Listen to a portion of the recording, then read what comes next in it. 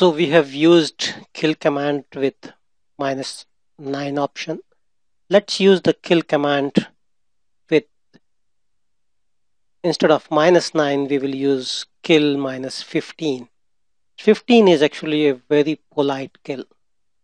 Okay so this is a polite way of sending a sig term signal to a process and giving an opportunity to clean up after itself. A process doesn't respond to sig term signal when the then the strongest signal that is sig kill signal that is kill minus 9 is set. And sig kill that is kill minus 9 it basically kills the process immediately without giving a chance to clean up. So you can see that there is something called kill minus 15 which is a polite way of killing it. Or and the signal which it sends kill minus 15 we call it as sig term signal. Okay so let's try to see a process which we want to kill. Okay so let's see there is let's try to run this command. Let's say this command is running. Top command is running okay and I want to kill this particular process ID okay so what I want to do is I would like to kill this particular process ID okay this is the process ID that I want to kill. Okay 60668 now let me go to the another window. Okay and let's try to kill this process ID that is kill minus 15 that I want to show you. And the process ID that we want to kill is let's say 6414 okay. This is the top command that I want to kill which is 6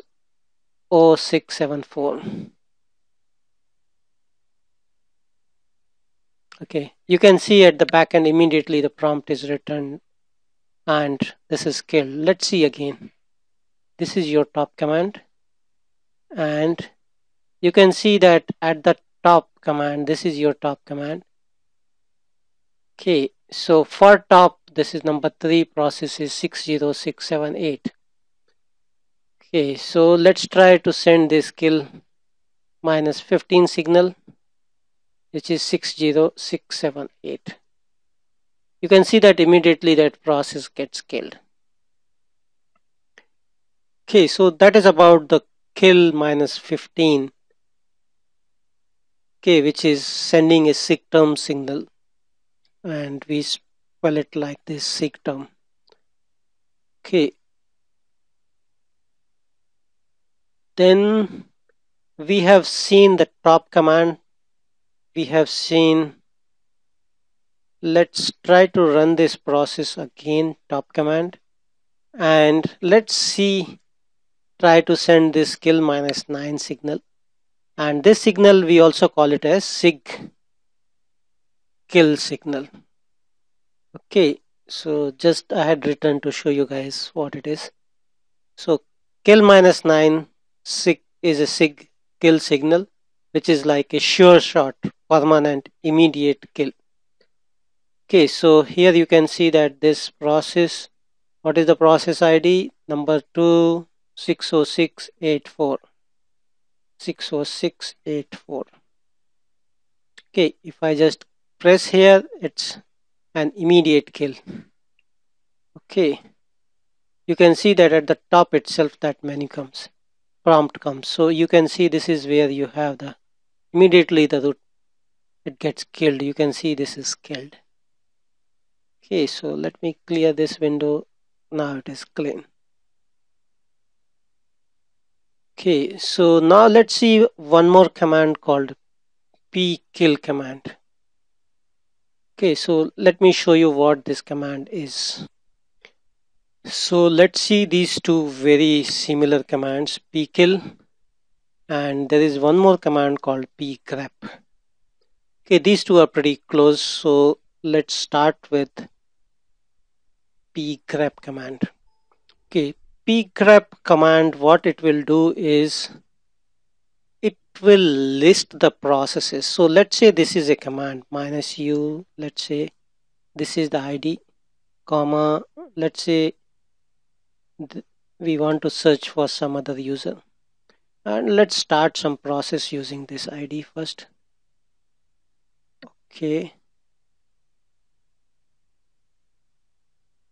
so let's say I start this process here with the ID as Sam.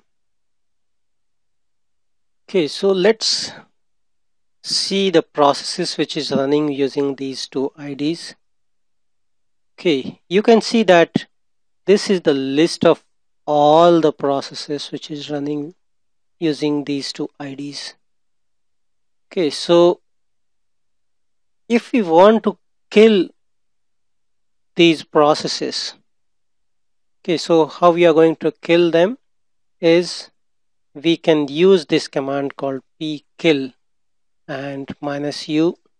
And if we just write sam it will kill all the users session user listed as sam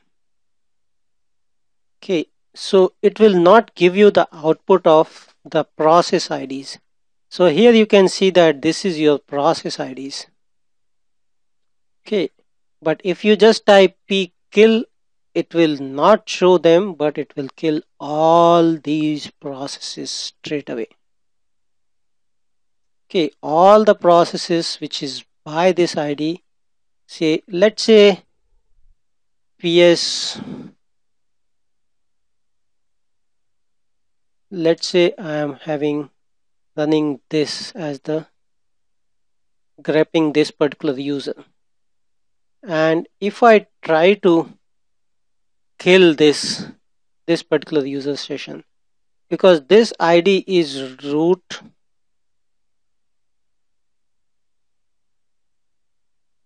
okay so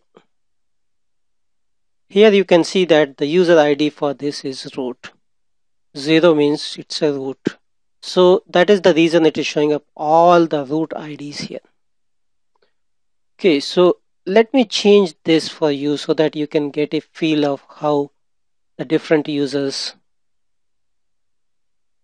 how we can kill or use this pkill command for the user. Okay, so now let's see the processes which is running for user Sam. Okay, you can see these are the processes which is running for user SAM.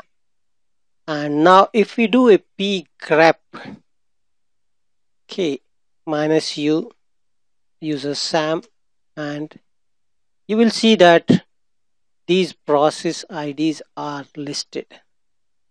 And instead of pgrep, if I use pkill minus user say SAM, what it is going to do is it is going to kill all these process IDs okay and if I do this command again you can see that all commands are killed all these processes. This this this.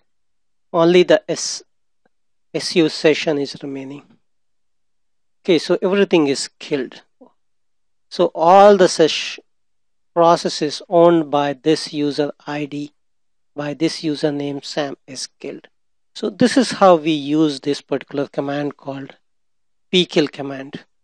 Okay, and pgrep command.